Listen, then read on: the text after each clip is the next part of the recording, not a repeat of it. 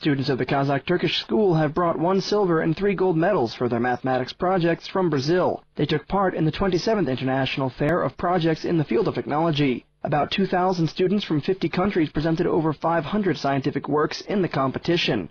Abai Kozhabergenov was one of them.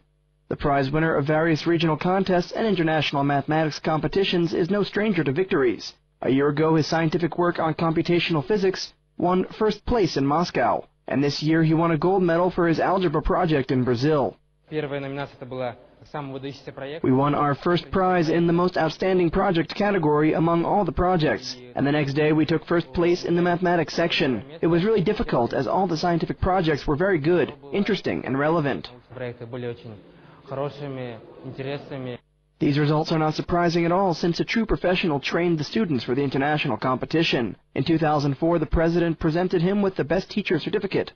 It took two years for Muammer Gul and his students to complete the project.